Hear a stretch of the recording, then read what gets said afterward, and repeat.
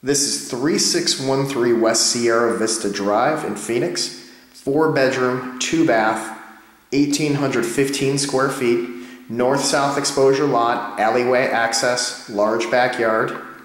There's been a lot of work done to the interior of the property new carpet, new paint. There's laminate flooring in here and in the uh, kitchen and hallways. New electrical panel, uh, new light fixtures new smoke detectors. Truly a move-in ready house. If you have any questions or would like to see this property, please feel free to give me a call.